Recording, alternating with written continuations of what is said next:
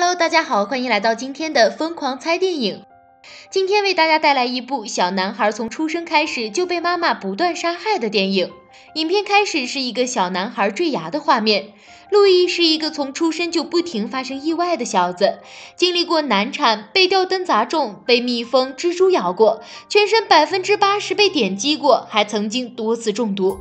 在他九岁时，爸爸妈妈带他出去郊游，又坠落悬崖，掉入了冰冷的大海。救援人员用直升机将他打捞了上来。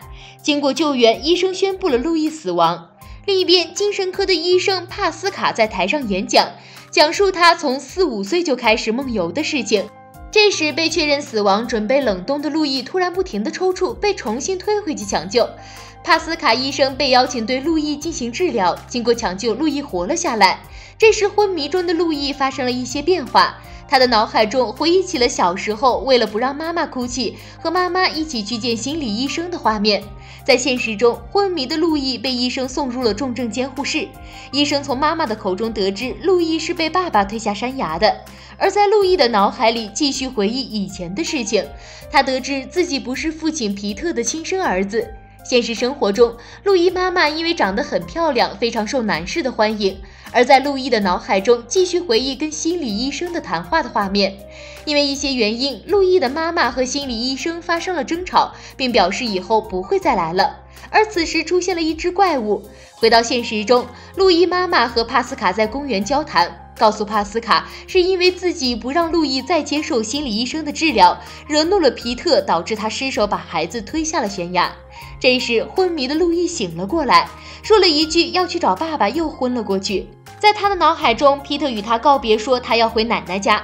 警察在调查路易坠崖到底是谁做的。帕斯卡找到路易妈妈了解情况，原来路易是他跟别人一夜情留下来的孩子。在路易还是婴儿时，他向皮特求助。皮特为了他与自己的妻子离婚，跟路易妈妈在一起了。这一切，路易和旁边的怪物都看在眼里。而在现实中，路易的奶奶想要来看路易，但是遭到了妈妈的拒绝。路易的奶奶表示，自己的儿子是不可能伤害路易的，因为皮特很爱路易妈妈。不久，检查来通知已经找到皮特的尸体，奶奶崩溃大哭。而在路易的脑海中，怪物带着路易来到悬崖边，让路易再次跳下去。跳下去以后，他们来到了一个山洞。这时，路易才明白，眼前的怪物就是他的爸爸皮特。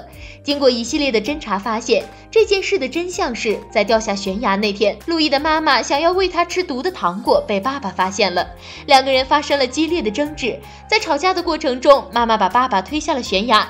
看到这一切的路易，为了满足妈妈的愿望，也选择自己跳下了悬崖。